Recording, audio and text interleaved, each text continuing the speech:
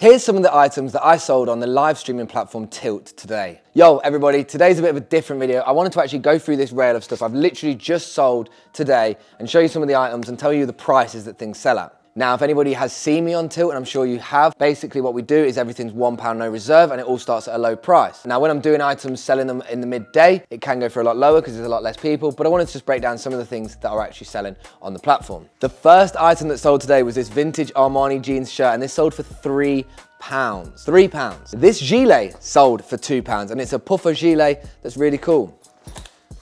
Now I do sell things like Superdry on there and these can sell for a lot more. So this dressing gown sold for I think 17 pounds and the sweatshirt sold for like eight to 10. I do find that crazy that Superdry sold for more than a vintage Armani jeans shirt, but it's all preference of the people that buy. Tilt is all about people that buy for a number of reasons. Because it's one pound no reserves, a lot of the people that are on there buying are resellers. A lot of the people are starting out as resellers and you are probably maybe watching it on here. So what's good? Hopefully we're sharing some of the items you bought. Some people are just like middle-aged people that are trying to kit out their whole wardrobe for their kids at home home. And other people are so kind and considerate that they buy stuff to donate to homeless charities. So there's lots of different scope for what people are actually buying these items for the prices. We sell an absolute mixture from Fila hoodies to Nike quarter zips. And I think both of these together sold for about nine pounds. Adidas is another big brand that we sell on Tilt and we managed to get a lot of this and it goes t-shirts for around about three to five pound per time. Really like this Miami Heat one. I think this one went for two pounds today.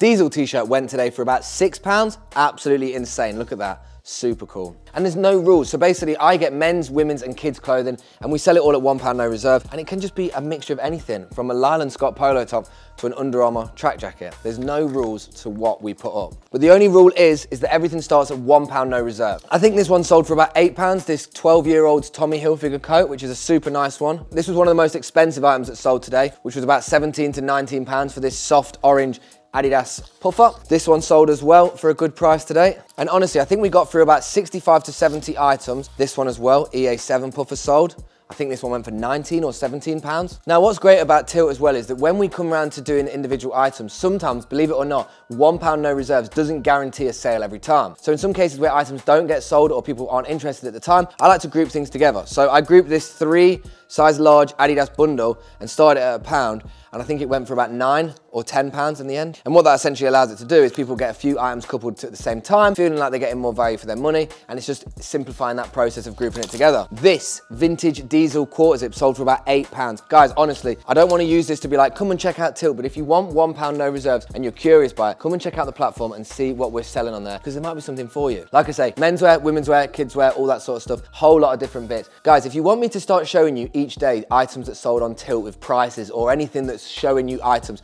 drop a comment or like this video because that's the way I will be able to tell what you actually like about what I'm making for you to watch. But guys, as always, stay safe, stay sustainable, stay original, keep looking for one pound no reserves like all of this stuff that started at one pound and I'll see you on the next video. Big up.